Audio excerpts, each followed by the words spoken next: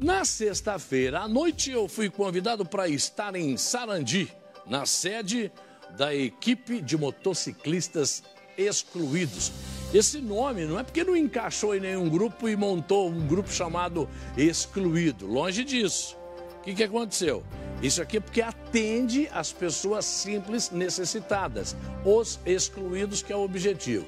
Aí na foto aparece o Sandy Clay, que é o presidente lá dos excluídos, aparece o Léo Júnior, o Joãozinho, com essa barba branca aí, né? E os nossos amigos. O que, que o Joãozinho teve uma ideia?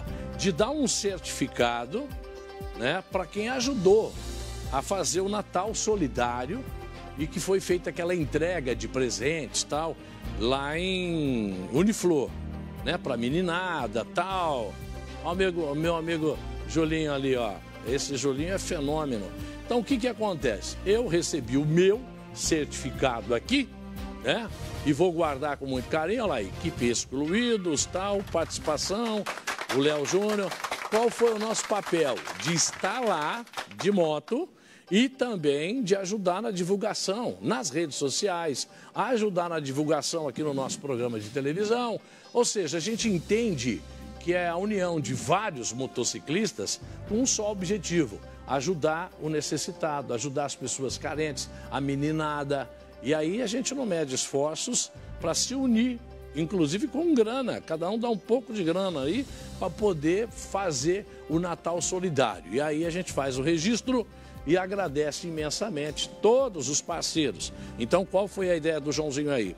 Dar um certificado para o presidente dos outros motoclubes que ajudaram a realizar.